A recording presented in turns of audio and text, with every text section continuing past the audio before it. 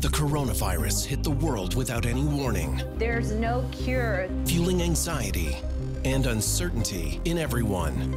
Wow, this is a bit crazy. Join filmmaker Yu Kung and his wife, Crystal Liu, to get a first-hand look in Shanghai as they document the difficulties faced due to the pandemic.